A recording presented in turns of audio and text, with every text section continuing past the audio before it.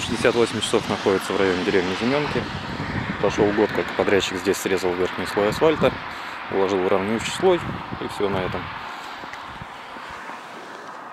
Продолжают торчать коровьи хвосты из асфальта. Зато сделали разметку.